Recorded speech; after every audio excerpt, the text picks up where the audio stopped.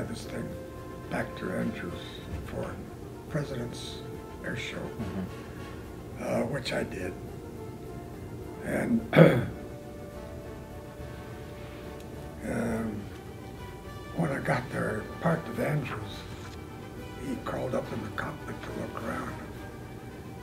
Um, he was a pretty crusty old guy. He, and I won't repeat exact language.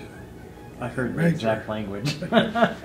Major, he said, this looks pretty good to me. I think I'm gonna buy some.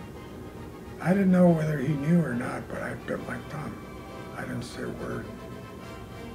He got down on the ground, he turned to the chief of staff, chief of the Air Force. He said, General, why don't you have this young whippersnapper fly this thing down Pennsylvania Avenue, rooftop level. I want people to see what I'm gonna buy.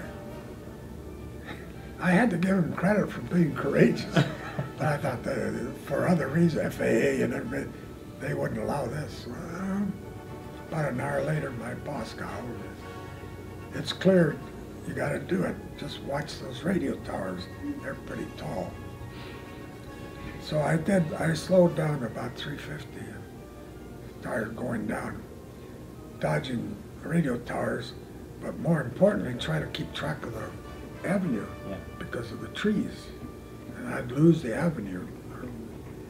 About then, I got a glint on my canopy, and I looked up. The dome, or Capitol Dome, was dead ahead. I had to pull up and go off to the side to dodge the tower. Um, You're probably the only one in the world that ever flew down Pennsylvania.